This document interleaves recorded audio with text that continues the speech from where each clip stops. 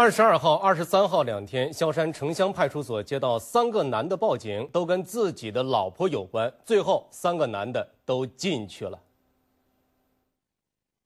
二十二号凌晨零点二十几分，萧山城乡派出所接到一个男的报警，说手机被人偷了，支付宝里的钱少了。我手机掉了，我手上手机上面的钱全部不见了，能不能帮我出来警？这个手机 iPad 我能定位这个如家附近。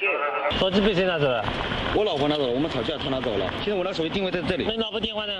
打打不接电话，不接电话。电话就是，因为拒绝钱，主要是钱走钱走。现在是多少钱了？我不知道。民警赶到现场后，男子换了说法。说手机其实是老婆拿走的，他定位到了手机的位置在一家酒店里。随后，民警在酒店的一个房间找到了洪某的妻子。他说，两夫妻吵架，他拿走了老公的手机，又转了五千块钱。但是他报案的说他的手机被偷走了，钱被人传走了，啊，所以呢，这个情况呢已经构成了谎报案情。刚处理完洪某的报警，城乡派出所又接到了一个男子报警，我老婆被强奸。民警又赶到了一家酒店。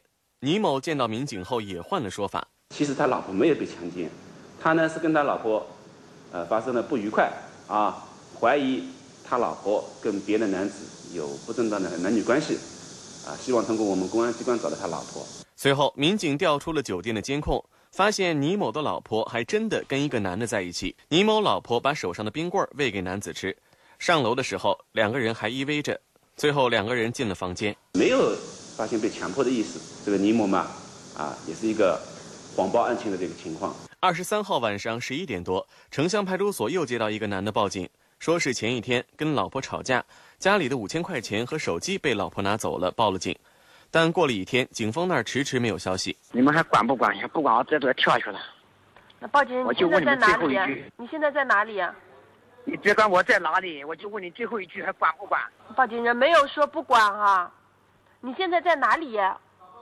我在楼上，你管我在哪里？我就问你一句，今晚管不管？不管的话，我这就要跳下去。他女朋友把他这个，呃，租房里面的钱啊、手机啊都拿走了，啊，他呢已经来报过案，我们也已经立案侦查了，但是他他认为公安机关对这个案件侦查的，呃，力道不够，啊，呃，就说你们不给我处理好，我就要自杀。警方派出了大批警力，找了两三个小时，最后在火锅店门口找到了江某。